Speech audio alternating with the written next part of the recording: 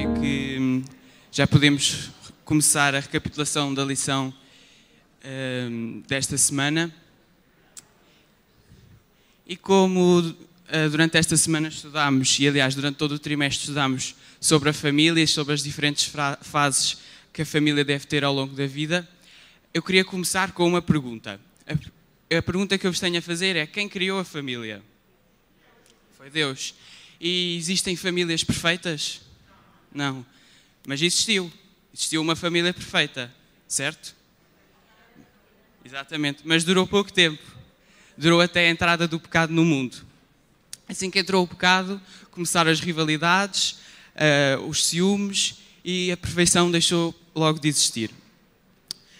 No entanto, o conceito de família é algo que existe até hoje e por isso estudamos durante todo este trimestre e ainda hoje é um, uma, um alvo de, de Satanás nas nossas vidas e será até aos tempos do fim.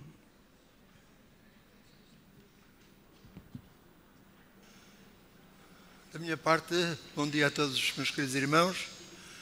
Aqui foi perguntado se, se houve alguma família perfeita, só houve uma, mas eu penso que, e eu quero agradecer aos irmãos, porque na igreja de, de Setúbal tiveram o privilégio de convidar a família perfeita a passar a escola sabatina.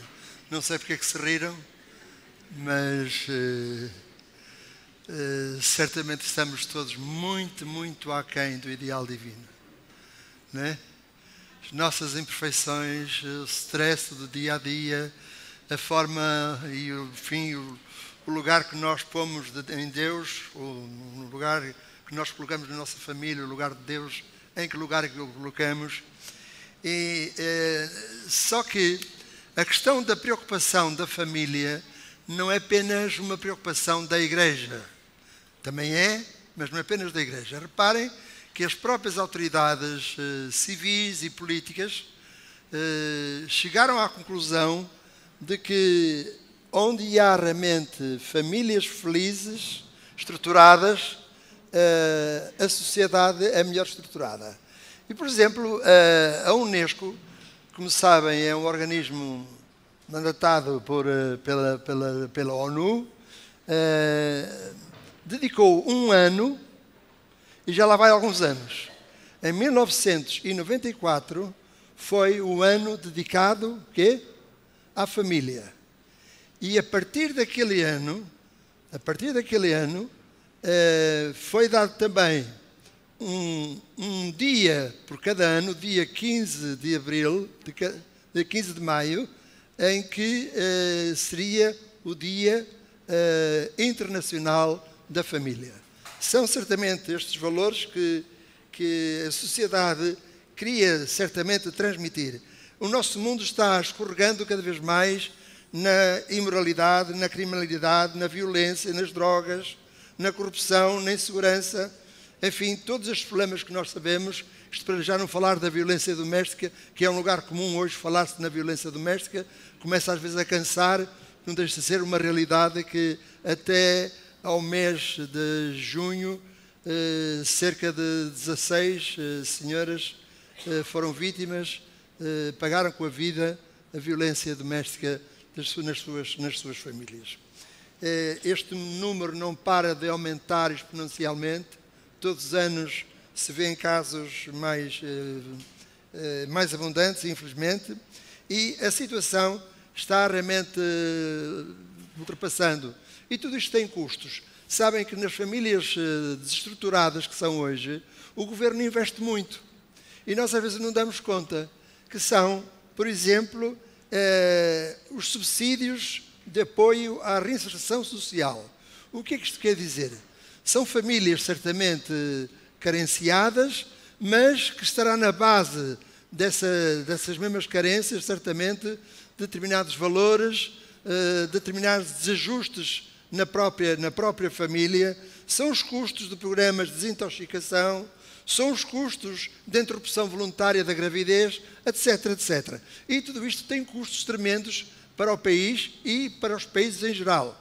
E nós sabemos que uh, as coisas irão piorando à medida que forem sendo cada vez mais escassos os subsídios de apoio. Mas tudo isto se insere nesta problemática da família. A nossa igreja tem assim a incumbência de promover uma completa reforma na família eh, e essa é certamente essa reforma deve ser feita no espírito da reforma de Elias. Né? Nós vamos ver que esta semana, na semana passada, nós vimos alguma coisa muito importante, não é? O que é que vem? O que é que veste? O que é que vem esse na tua casa? O que é que eles vêem na tua? O que é que eles viram? O que é que ele viu na tua casa? Certamente que a forma como nós vivemos, nós devemos ser as tais cartas escritas ao mundo para que o mundo leia em nós e que se consiga ver realmente famílias diferentes, uh, famílias melhor estruturadas. Uh, há bem pouco tempo eu estava numa atividade de jovens e estava aqui bem perto, no Seixal, e então estavam cerca de 400 jovens vindos de partes de vários clubes do país e a determinada altura o Presidente da Câmara estava ali presente e ele começou por dizer que estava muito feliz por estar naquela reunião ali com 400 jovens que ele sabia de uma forma especial, que eram jovens diferentes. Dizia ele, eu que passo longas horas da semana, que dedico dois dias por semana ou duas tardes por semana a atender os meus, munícipes, eh, que trazem certamente os seus problemas, pais que pedem ajuda para os seus filhos, com problemas de, ele deu a entender o que seria, problemas de droga, problemas de, de todos esses inerentes a essa problemática, e diz ele, estou hoje muito feliz por estar aqui no meio destes jovens que eu sei que estão do lado certo da vida. Mas quando ele disse isto, a sua voz ficou muito embargada. E nós viemos a saber mais tarde que também ele tinha na sua família, portanto, também era uma família desestruturada nesta, nesta, nesta situação. Ora, meus queridos irmãos, eh, logicamente que nós já vimos falar muito de Elias, grande, um grande reformador. Vamos ver que há aqui uma espécie de três, três Elias. Eu vou perguntar aqui ao, ao André. Uh, que idade é que tem Elias? Que idade é que tem Elias? Alguém sabe dizer na sala que idade é que tem Elias?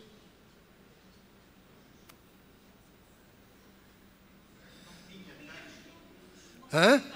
Não tinha, tem, exatamente, não tinha, tem. Se ele. Já disseram? Ah, ok. Eh, ele viveu o seu ministério, portanto, na época do rei Acabe, no ano 900 antes de Cristo. Portanto, ele terá neste momento 2.900 anos. Mais ou menos. Porquê? Sabem que o ministério de Elias é extraordinário. Ele, ele vem de repente, não se sabe de onde, exerce o seu ministério de forma rápida, depois esconde-se, né? e depois desaparece. Né? Desaparece. E está onde hoje? Onde é que ele está? No céu. Portanto, Elias é um daqueles que não passou pela morte. Né? E não passará pela morte. Não passou pela primeira e não passará certamente pela segunda. Portanto, este homem tem hoje é, boa idade, aproveita a idade de 2.900 anos, é, ele é um pouco mais novo do que, do que Enoch, né? um pouco mais novo do que Enoch, mas ele é um homem extraordinário. O seu, a sua função, o seu ministério. Nós temos muitas vezes confundimos a, a palavra profeta. E o profeta, para nós, é aquele que profetiza. Né? É aquele que prediz acontecimentos futuros e que depois vão ter o seu cumprimento. Ele também faz, também os diz. Mas a palavra profeta é uma palavra até composta. Profero Fero falar, pró em lugar de. Portanto, o profeta é aquele que fala no lugar de Deus. E reparem, quando o profeta, quando um profeta tinha uma mensagem a transmitir ao povo, o que é que ele dizia? Olhem, venham cá, juntem-se a mim. Olhem, sabem, eu, eu, eu, esta noite eu acho que tive um sonho, eu acho que tive uma visão de Deus e, e eu acho que, que seria importante eu transmitir-vos. Era assim que ele fazia? Como é que ele fazia? Assim, assim diz o Senhor. E este profeta é realmente um profeta nesse, nesse domínio extraordinário. Ele vem de não sabe de onde, e vai enviado, Deus mandou, portanto, a, a, ao rei Acabe, e sabem, eu não, eu não, sei como é. Qual eram as vestes de, de, de Elias? Bem vestido, uh, tinha fatos de melhor, melhor qualidade, tinha peles de camelo, não é? Um cinturão, um cinturão de cabedal, e ele quê? E ele vai ao palácio do rei, e nós não sabemos como o palácio do rei tinha a porta aberta, mas teria quê? Teria guardas ali. O que é certo é que ele não podia entrar. Mas ele entrou. E ele não podia falar. Mas falou. A sua resolução, a sua forma direta, e foi ao profeta e diz: Olha, ao, ao profeta, não, ao rei, ao rei acaba, e diz: A mensagem que eu tenho para ti é esta: não choverá durante três anos e meio, não voltará a chover antes que eu diga. Saiu e retirou-se. E logo a seguir, Deus enviou. E há aqui algumas coisas que, nós, que é importante nós sabermos na, na questão da família. O profeta tinha necessidade de aprender e alguém que estava junto dele, com quem ele vai ter, também precisava de aprender. Também era uma família. E também era uma família estruturada. Né? Deus diz: vai para Crite, para um lugar eh, longe, vais para um lugar, um lugar serás, porque não havia água, vais alimentar-te, portanto, vais, uh, vais beber de um ribeiro junto ao Jordão e serás alimentado, vais ser alimentado por corvos. Mas a determinada altura, o que aconteceu? O ribeiro secou, os corvos certamente não tinham também que comer nem que beber, foram para o outro lado, e agora Deus envia a Elias à viúva de Serepta, uma mulher que certamente não era grandes posses, era viúva, e sabemos nas condições que era naquela época uma viúva, não havia pensões sociais, não havia pensões de, de, de viuvez, e ainda por cima teria a seu encargo um filho, um filho menor. E agora ele dirige-se àquela mulher e diz: Dás-me um pouco de água da tua mão? Dás-me um pouco de, de pão da tua mão? E ela diz: Olha, meu senhor, eu não tenho pão na minha mão. Tenho lá em casa, numa, numa panela, um pouco de farinha, numa botija, um pouco de azeite. E o que eu vou fazer é isto: vou fazer um pouco de pão, vou comer eu, vou dar ao meu filho e vamos esperar pela morte. E aqui há um desafio que ele lança a esta mulher. Não temas. Vai, peça de uma forma egoísta. Vai, faz um bocado de pão. E trá-lo a mim primeiro. E depois me dás a mim. Vai. E cozinha, então, faz o pão para outro. E tens uma promessa. Que enquanto não voltar a chover, não faltará pão, não faltará farinha na tua panela, nem azeite na tua botija. E assim aconteceu. Mas mesmo por uh, pouco decorrer do tempo, podemos nós imaginar que para um adulto a pão e água poderia sobreviver, mas uma criança, um jovem, na sua fase de crescimento, a sua saúde foi piorando, foi piorando, piorando, até que veio uma doença terrível, foi com ele, e ele veio a falecer. O resto da história nós sabemos. E que aquela mulher precisou de aprender que quando se obedece à voz dos profetas, e o profeta também teve que aprender.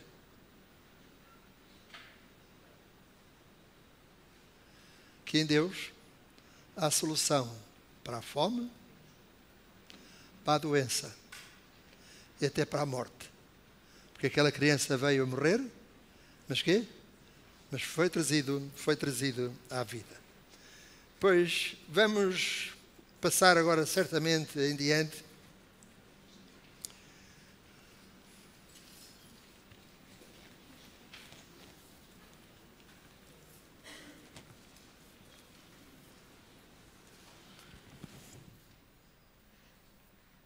Não queríamos, apesar de sermos três à frente, que os irmãos também possam participar, está bem?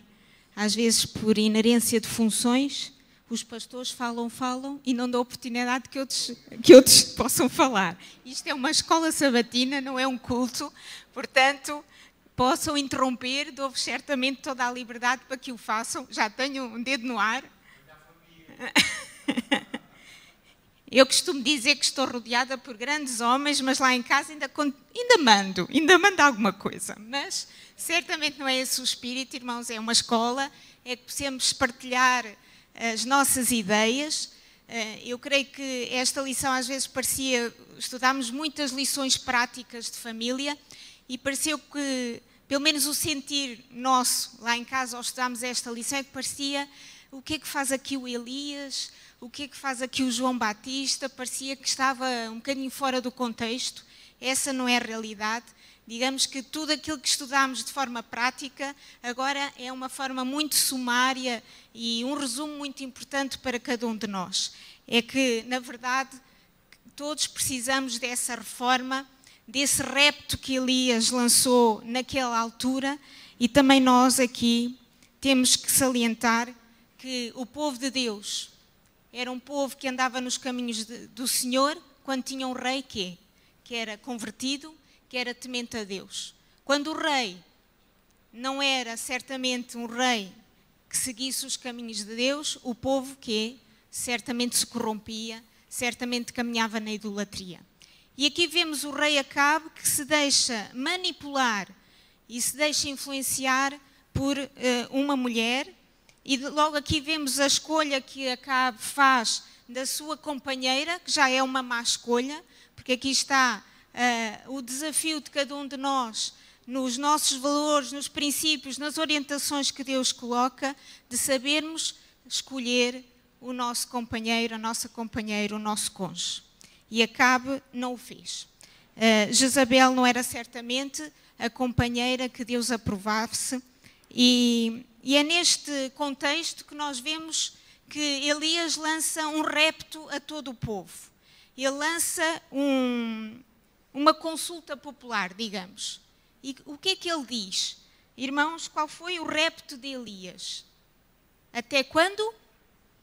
Cocheareis entre dois pensamentos. Até quando andareis em, duas, em dois caminhos?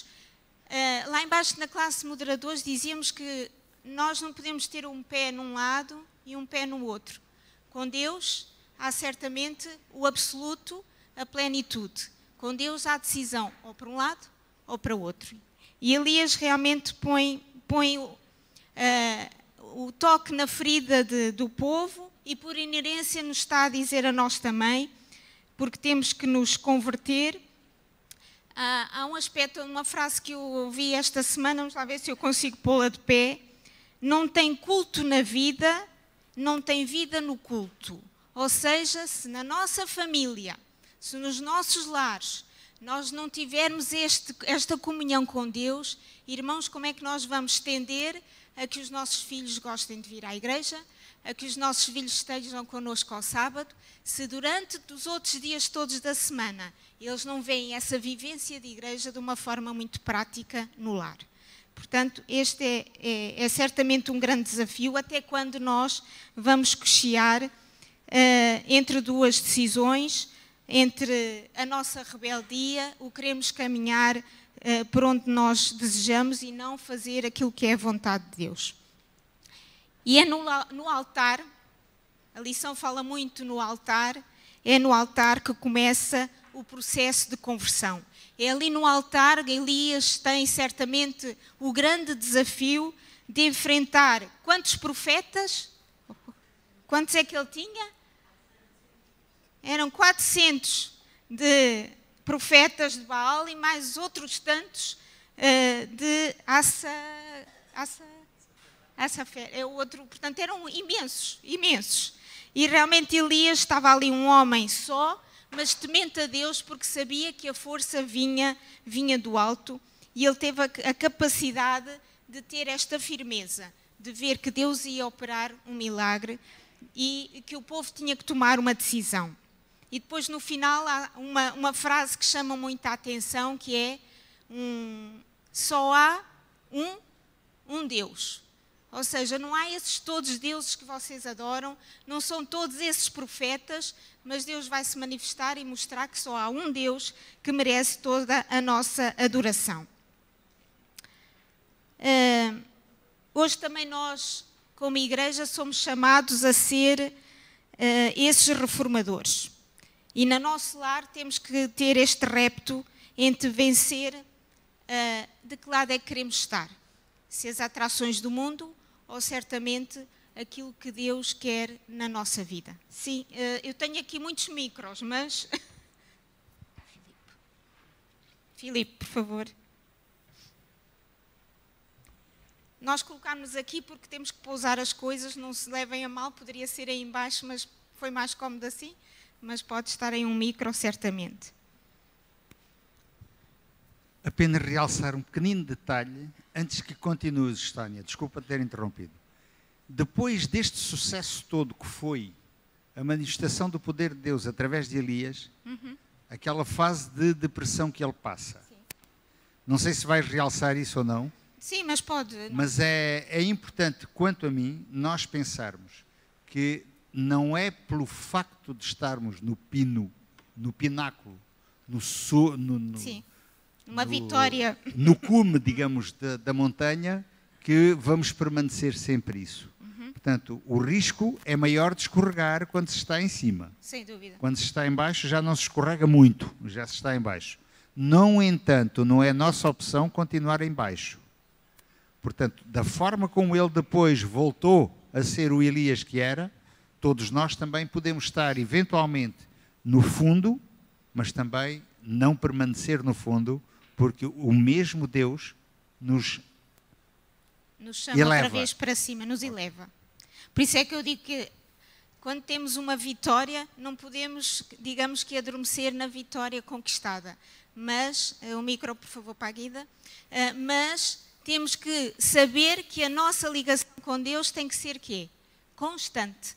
Eu não vou, uh, venci uma batalha, estou muito feliz e agradeço ao meu Deus e agora vou tranquilizar que tudo vai correr bem. O inimigo logo a seguir vai nos dar outro repto, outra, certamente outra rasteira. Por isso é tão importante é que estejamos continuamente ligados a Deus. Sim? A propósito desta aplicação das nossas vivências e da nossa família, alguns na lição, eh, veio uma frase que eu achei muito interessante. Imaginemos qual foi o tema de conversa das famílias naquela noite, depois desta situação de Elias sim, sim. e dos uhum. profetas uhum. uh, de Baal. Um, e, e, eu questiono-me se nós, uh, à nossa mesa, na nossa casa, nas nossas famílias, um, deixamos a superficialidade, e, e falamos daquilo que Deus fez por nós naquele dia, daquilo que Deus fez por nós naquela semana, de um desafio que temos, de um problema que temos. E isto fortalece a nossa fé. Uh, percebemos que Deus é real, que Deus atua e que Deus é poderoso. Muito obrigada. Eu creio que uh, eu também ia focar um bocadinho esse aspecto, é que alguém também aqui quer falar, é que nós temos que ter estes momentos à parte com o passar a mensagem, como dizia em Deuteronômio, caminhando com os filhos, passando. E esta experiência de vida faz com que eles vejam que Deus no passado esteve connosco, com experiências que eles não viveram porque ainda não tinham nascido, mas depois perceberam, depois o percurso, e eles agora também hão de ter experiências que querem partilhar connosco. Portanto, é muito importante que as famílias encontrem tempo para partilhar. E eu creio que naquela altura, eu acho que as famílias, após aquele milagre de Elias, devem ter estado estupefactas, mas a passar o que foi aquela vivência no, junto àquele altar. Sim, Lisete? Eh, dando ainda seguimento a tudo isso e ao que a Guida disse, sem dúvida, eu, eu na lição, quando cheguei à lição de terça-feira, pensei se eu estava realmente preparada e se eu tenho realmente este altar na minha família e na minha casa. Uhum. E é muito importante, uhum. porque eu penso que nós não estamos habituados, eu estou a falar por mim, não estamos habituados presentemente a conviver com os milagres sobrenaturais de Deus diariamente na nossa vida nós não os consideramos milagres. Não consideramos milagres. Uhum. E, para além disso, se nós não estamos habituados a, sobre, a, a, viver e a conviver com esses milagres diariamente na nossa vida, também não os transmitimos aos nossos filhos. E para além disso, também não estamos preparados para ouvir uma voz de um profeta que chega à nossa casa, do Elias, que a qualquer momento pode chegar ao meu coração, à minha mente, num sábado, num dia de semana, num encontro. Nós podemos contactar com estes profetas diariamente e nós não sabemos que estamos a contactar com eles. E se calhar não temos aquela convicção de fé que teve Sarepta. Uhum. Não é de dizer, sim senhora, esta é a voz do Deus vivo e depois ela fazer a experiência com o profeta e com Deus e no fim chegar à conclusão dela. Eu penso que é isto que me falta na minha vida e se calhar na vida da minha família, não sei nas outras, mas achei por bem testemunhar. Pronto, eu vou dar a palavra a, outra, a membro da família, mas eu creio que esta lição vai focar muito o termómetro das nossas famílias. Como é que está o termómetro da nossa família no sentido qual é o altar do meu lar? Como é que eu tenho o altar no meu lar? De que forma é que eu realmente reverencio ao meu Deus? E de que forma é que está o Espírito Santo a trabalhar? E se o meu termómetro está realmente numa temperatura elevada ou não?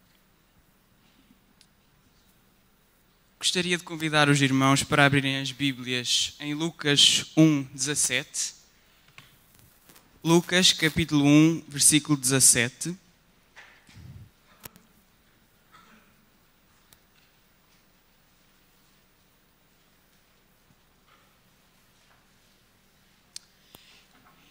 Onde é-nos dito que: Eis que vos envio o profeta Elias antes que venha o dia grande e terrível do Senhor e conversará o coração dos pais aos filhos.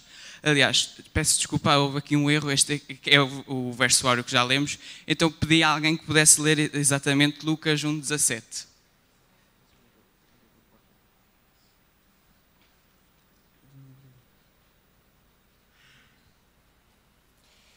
Irá diante dele no espírito e virtude de Elias, para converter os corações dos pais aos filhos e os rebeldes à prudência dos justos, com o fim de preparar ao Senhor um povo bem disposto. Muito obrigado. Isto, uh, o que nós vemos aqui então é que já estudamos então sobre Elias, de facto o primeiro profeta, mas aqui é-nos dito quase que uh, anunciar que vem um segundo Elias eu gostaria de perguntar aos irmãos, então, quem é que é esse segundo Elias? João Batista, exatamente. João Batista eh, foi exatamente o, que nós podemos chamar de um segundo Elias, e eu gostava também de vos perguntar qual foi a grande profecia de João Batista. Exatamente, o arrependimento. Ele diz: Eis o Cordeiro de Deus que tira o pecado do mundo. Portanto, a função dele foi preparar o povo para a vinda do Messias, que era tão prometida uh, já desde, desde a queda de Adão e Eva. Portanto, era essa a função de, de João Batista. Um, além disso, ele enfatizava o arrependimento dos pecados, como já, já aqui dissemos, e, e teve como. Uh, e, preparou para a vinda do Messias. Não é que ele soubesse exatamente quando é que era a vinda do Messias, porque ele não sabia e também não lhes disse quando é que era mas ele preparou de tal maneira que quando, só um momentinho, que quando, uh, quando o viu, ele reconheceu-o logo. Mesmo, mesmo que nunca, uh, nunca tivesse visto a Jesus, ele reconheceu logo e entregou-lhe logo o, o, povo que ele tinha preparado. Ah, é, só ia dizer que tem um, um fato interessante de João Batista, é, é, a questão da humildade dele e, e da subserviência dele ao verdadeiro Messias. Porque à época existiam pessoas, inclusive, que achavam que poderia ser até ele, João Batista, o próprio Messias. E ele podia se vestir na, na, na pele do Messias e dizer, não, realmente eu, por que outro?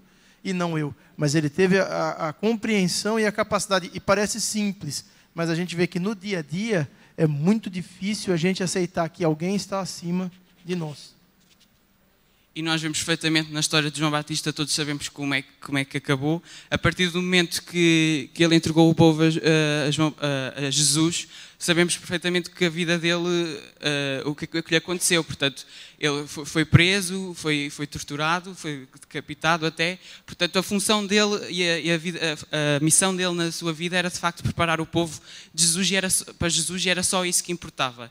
E de facto, o, o mais importante e João Batista foi de facto fantástico nisso, é que ele preparou as condições eh, necessárias para que quando o Messias chegasse ele tivesse um povo à sua espera. E foi de facto muito bem sucedido nisso.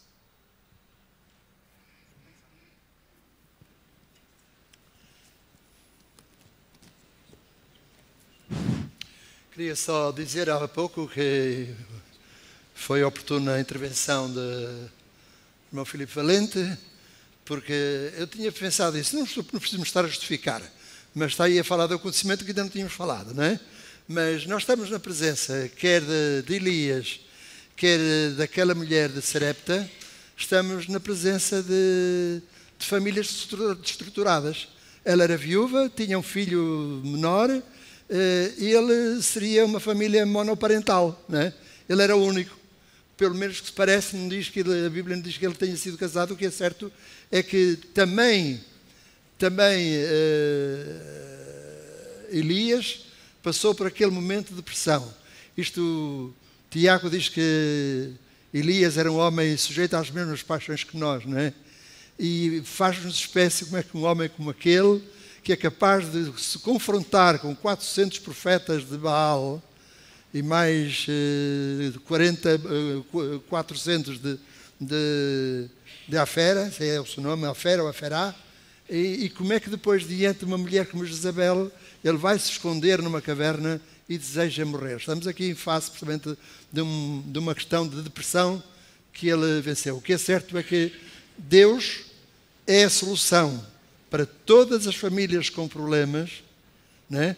sejam elas fome, sejam elas doença, sejam elas até depressão. Né?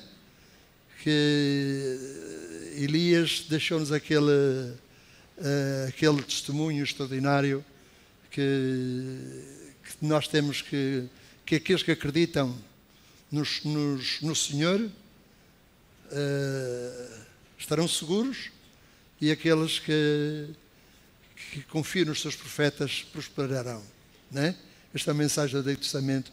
E já agora, como conclusão da nossa lição, que agora vai, como eu dizia há pouco, nós éramos a família perfeita, eh, a matriarca vai ter a última palavra. É, é importante que eles cresçam e diminuam, não é? Ah, ah, queria, queria dizer algo em, em relação, ainda antes de nós terminarmos a lição. É muito importante que nós pensemos neste paralelo que existe entre os três anos e meio que houve. As coisas se repetem e vão repetir-se. Há um problema político-religioso que houve naquele tempo e vai haver no nosso tempo também. E nós, as famílias, temos que estar atentos para preparar os nossos filhos, enfim, a família inteira, para confrontarmos para coisas que vão acontecer igualmente vamos ter uma, uma, uma Jezabel, vamos ter um Acabe, vamos ter Elias, nós vamos ter isto tudo, mas temos que, antes de nós terminarmos a lição, pensarmos neste assunto que é tão importante para a nossa vida hoje. Se nos prepararmos para podermos confrontar esta guerra que vai existir nesses três anos e meio que vão acontecer, não sei se vai ser nos nossos dias.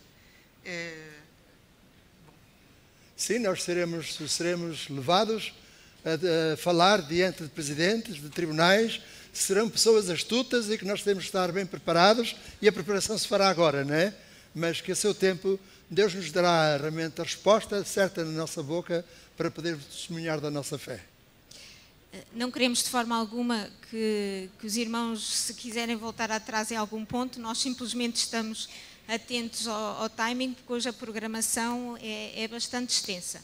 Mas todos os pontos são relevantes da lição e estejam à vontade se quiserem buscar algum que, que nós não, não, tínhamos abordado. Eu gostaria certamente de, de concluir a, a lição falando que hoje o mundo necessita de Elias, não é? Necessita certamente de mudança, de demonstrações de, de preparo e, sobretudo, demonstrações altruístas, irmãos, nós muitas vezes não olhamos para o irmão que está ao nosso lado, não olhamos para o nosso amigo que precisa da nossa atenção, do nosso cuidado. Uh, e isto é muito relevante nos dias que correm. As famílias cristãs podem e devem prover essa demonstração de altruísmo, mas certamente não podemos nos esquecer que antes que sejamos aqueles que vamos levar a reforma a este mundo, principalmente tínhamos que reformar-nos a nós próprios, primeiro individualmente, depois àqueles que estão à nossa volta e depois só então por extensão seremos capazes de uh, influenciar os outros. É certamente primeiro o preparo individual, a reforma individual, foi este o repto que Elias lançou e depois, por extensão, o núcleo familiar, os nossos amigos e depois todos os outros que nós e que Deus requer que possamos chamar para o seu redil. Somos embaixadores de Deus e isto é uma palavra que Deus nos coloca com este grande repto. Nós e a nossa família temos que abraçar esta missão que Deus coloca perante nós. Elias já está em ação no nosso meio, ainda bem que sim. Temos que reformar tudo aquilo que não está bem na nossa vida, irmãos. E eu acho que há um, um verso por excelência que agora me ocorreu, que está em Josué, que diz, perante ele também teve desafios, e há uma frase que ele diz: Eu e a minha casa serviremos ao Senhor. Este foi o, o, certamente a decisão dele e da sua família, porque ele tomou a decisão, mas foi com a sua família. Eu e a minha casa serviremos ao Senhor. Que cada um de nós possamos, uh, de forma muito vincada, não, não esmiuçar nem deixar de lado a importância que é do estudo da lição, do estudo da palavra de Deus, do culto familiar, da oração, porque se não tivermos este, este vínculo familiar, de maneira nenhuma podemos ser embaixadores uh, lá fora. Portanto, não descuremos este aspecto, irmãos, de uma reforma individual, de estarmos em sintonia em casa. Eu, eu ontem uh, doeu-me o coração porque fiquei triste, porque estávamos. Só ontem é que os três conseguimos coordenar-nos. Tivemos uma semana muito complicada e estávamos tão embrenhados que eram 11 horas da noite. E o meu tio veio ter comigo e disse: Não fizemos o pôr do sol. E aquilo doeu-me. E eu disse: Então estou eu aqui a ler a lição, estou aqui eu embrenhada na responsabilidade que tenho à igreja e o meu núcleo, que é certamente o meu pai que me criou e que também me transmitiu grandes valores com a minha mãe. Eu digo: Eu descurei. Eu descurei. Disse: Peço perdão, tio e fomos orar com ele. Mas aquilo que ele está habituado à sexta-feira é que cantemos e que estejamos ali um bocadinho, mas nós tínhamos tanto ainda para rever. E eu, eu descurei aquilo que era o essencial, que era o altar. O altar. Não descuremos certamente este aspecto e só assim as nossas famílias serão fortes e terão um, um, um desafio grande e uma responsabilidade na sociedade.